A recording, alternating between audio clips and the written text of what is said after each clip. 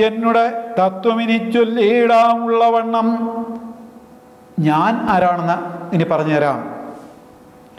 ഞാൻ താൻ മൂലപ്രകൃതിയായതടോ.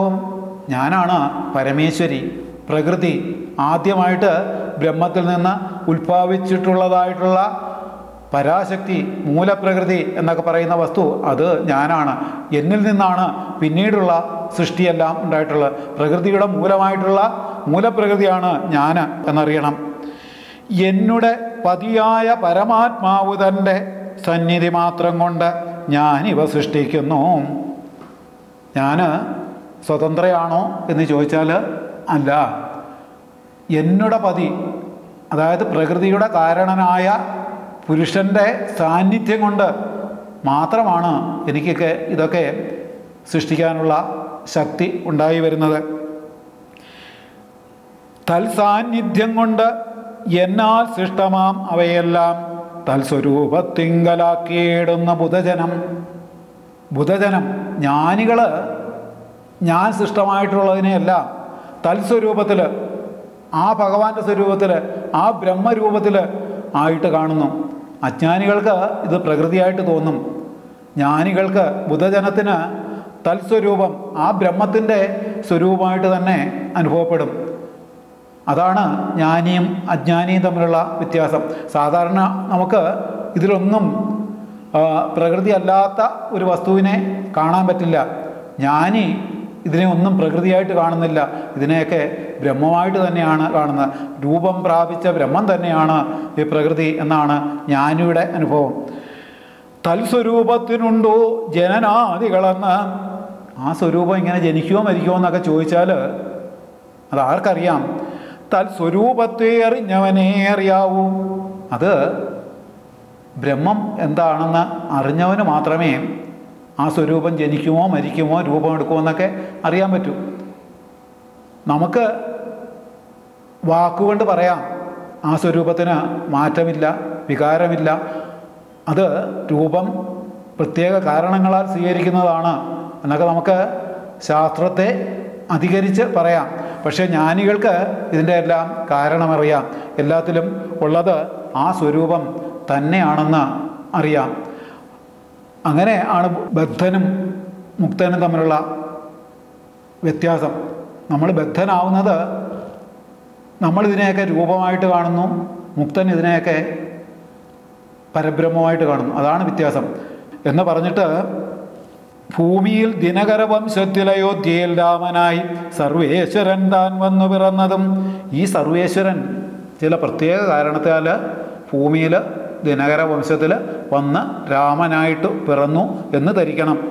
ആമിഷഭോജികളെ വധിപ്പാനായിക്കൊണ്ട് വിശ്വാമിത്രനോടും കൂടി എഴുന്നള്ളിയ കാലം ക്രുദ്ധയായെടുത്തോരു ദുഷ്ടയാം താടകയെ പദ്ധതി മധ്യേ കൊന്ന സത്വരം സിദ്ധാശ്രമം ബദ്ധമോദനവുക്ക് യാഗരക്ഷയും ചെയ്ത സിദ്ധസങ്കൽപ്പനായ കൗശികമുനിയോട് മൈഥില്യ രാജ്യത്തിനായി കൊണ്ടുപോകും നേരം ഗൗതമ ഭക്തിയായ ഒരകല്യാശാപം തീർത്ത് എന്ന് തുടങ്ങി ഇന്ന് വരെയുള്ള ചരിതം ദേവി ഓരോന്നോരോന്നായിട്ട് ഹനുമാൻ സ്വാമിക്ക് പറഞ്ഞു കൊടുക്കുകയാണ്. ആ ചരിതമൊക്കെ നമ്മൾ രാമായണത്തിന് ഉള്ളിലൂടെ കടന്നു പോകുമ്പോൾ കേൾക്കും.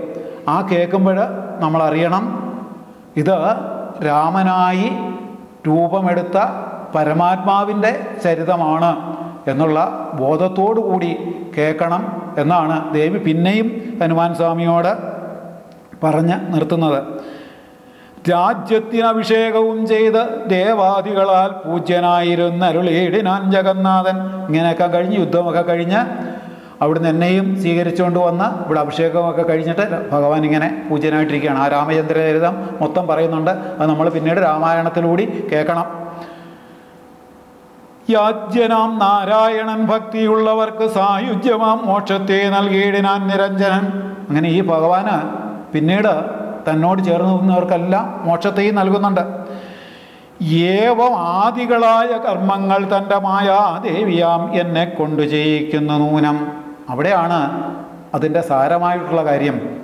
ഈ പറഞ്ഞ കാര്യമൊക്കെ ഭഗവാനാണോ ചെയ്യുന്നത് എന്ന് ചോദിച്ചാൽ ഭഗവാനല്ല ചെയ്യുന്നത്. ഭഗവാൻ നിഷ്കളനും നിഷ്ക്രിയനും നിരഞ്ജനനും ഒക്കെയാണ്.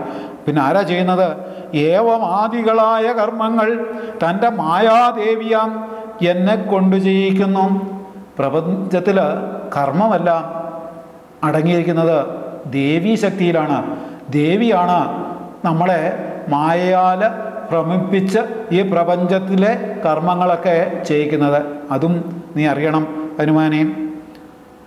രാമനാം ജഗദ്ഗുരു നിർഗുണൻ ജഗദഭിരാമൻ അവ്യയൻ ഏകൻ ആനന്ദാത്മകൻ ആത്മാരാമൻ അദ്വയൻ പരൻ നിഷ്കളൻ വിദ്യുത് ഭൃംഗാരാമൻ അച്യുതൻ വിഷ്ണു ഭഗവാൻ നാരായണൻ ഗമിക്കുന്നതും പുനരിരിക്കുന്നതും കിഞ്ചിൽ ഭ്രമിക്കുന്നതും തഥാ ദുഃഖിക്കുന്നതുമില്ല.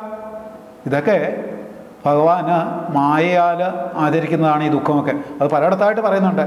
ഭഗവാൻ മായാ ദുഃഖത്തെ ആചരിച്ചു എന്നൊക്കെ ഉള്ള ജഗദ്ഗുരുവായ രാമൻ നിർഗുണനാണ്. ഭഗവാനിൽ ഗുണമൊന്നുമില്ല. ജഗതത്തിൽ അഭിരമിക്കുന്നവരാണ് അവ്യയനാണ് ഏകനാണ് ആനന്ദസ്വരൂപനാണ് അദ്വയനാണ് പരനാണ് നിഷ്കളനാണ്. നിഷ്കളൻ വെച്ചാൽ രൂപമില്ലാത്തവനാണ്. വിദ്വാൻമാർ ഭഗവാനിലാണ് രമിക്കുന്നത്. ചുതിയില്ലാത്തവനാണ് വിഷ്ണുവായിരിക്കുന്നത് ഈ ഭഗവാൻ തന്നെയാണ്. നാരായണനായിട്ടിരിക്കുന്നത് ഈ ഭഗവാനാണ്. ഗമിക്കുന്നതും പുനരിരിക്കുന്നതും കിഞ്ചിൽ ഭ്രമിക്കുന്നതും ഭഗവാൻ എവിടെയും പോകുന്നില്ല എവിടെയും വരുന്നില്ല ഒന്നും ഭ്രമിക്കുന്നില്ല. ഇതൊക്കെ നമ്മൾ അറിയണം. ഇതൊക്കെ മായയിലാണ് സംഭവിക്കുന്നത്. തഥാ ദുഃഖിക്കുന്നതുമില്ല. ഭഗവാന് ദുഃഖവുമില്ല സുഖവുമില്ല പോവലില്ല വരലില്ല ഭ്രമിക്കലില്ല ഒന്നുമില്ല. സർവവ്യാപിയായി നിഷ്ക്രിയനായി നിഷ്കളനായി ഇരിക്കുന്ന ഭഗവാനാണ്. രൂപത്തോടുകൂടി നമ്മുടെ മുമ്പിൽ നിൽക്കുന്ന ശ്രീരാമചന്ദ്ര പ്രഭു എന്ന് പിന്നെയും പിന്നെയും പിന്നെയും പറഞ്ഞ് നമ്മളെ ഓർപ്പിക്കുകയാണ്. നിർവികാരാത്മാ തേജോമയനായി നിറഞ്ഞൊരു നിർവൃതൻ ഒരു വസ്തു ചെയ്യുകയിൽ ഒരു നാളും ഭഗവാൻ ഒന്നും ചെയ്യുന്നില്ല. ചെയ്യുന്നതൊക്കെ മായാദേവിയായ ഞാനാണ്. നിർമ്മലൻ പരിണാമഹീനൻ ആനന്ദമൂർത്തി ചിന്മയൻ മായാമയൻ തന്നുടെ മായാദേവി. കർമ്മങ്ങൾ ചെയ്യുന്നത് താനെന്ന് തോന്നിക്കുന്നു. കർമ്മങ്ങൾ ചെയ്യിക്കുന്നത് മായാദേവിയാണ്. പക്ഷെ നമുക്ക് തോന്നും ഞാനാണ് കർമ്മങ്ങൾ ചെയ്യുന്നതെന്ന് തോന്നും. എങ്ങനെയാണ്? താൻ മായാഗുണങ്ങളെ താൻ അനുസരിക്കയാൽ. ആ മായാഗുണങ്ങളെ എന്റേതെന്ന് തോന്നിടത്തോളം കാലം നമുക്ക് നമ്മൾ കർമ്മങ്ങൾ ചെയ്യുന്നു തോന്നും ഭഗവാൻ കർമ്മങ്ങൾ ചെയ്യുന്നുണ്ടെന്നും തോന്നും. അതെങ്ങനെയാണെന്ന് വെച്ചാൽ നമുക്ക് തുല്യനായിട്ട് നമ്മൾ ഈ മായയിൽ ഭ്രമിക്കുന്ന ഒരു പുരുഷരൂപമാണ് ഈ ഭഗവാനും എന്ന് നമ്മുടെ അജ്ഞാനം കൊണ്ട് നമ്മുടെ ഗുണവൃത്തി കൊണ്ട് തോന്നുന്നത് കൊണ്ട് നമുക്ക് തോന്നും നമ്മൾ കർമ്മങ്ങൾ ചെയ്യുന്നുണ്ട് ഭഗവാനും കർമ്മങ്ങൾ ചെയ്യുന്നുണ്ടെന്ന് തോന്നും. അത് മായയെ അംഗീകരിക്കുന്നതുകൊണ്ട് മായയെ അനുസരിക്കുന്നതുകൊണ്ട് നമ്മൾ ഗുണരൂപി ആയതുകൊണ്ട് തോന്നുന്നതാണ് കർമ്മങ്ങൾ ചെയ്യുന്നത് ദേവിയാവണ. അങ്ങനെ ദേവി ഭഗവാന്റെ പരമമായ തത്വം അതിന് പാത്രമായിട്ടുള്ള ഹനുമാൻ സ്വാമിയോട് ഉപദേശിച്ചു കൊടുത്തു.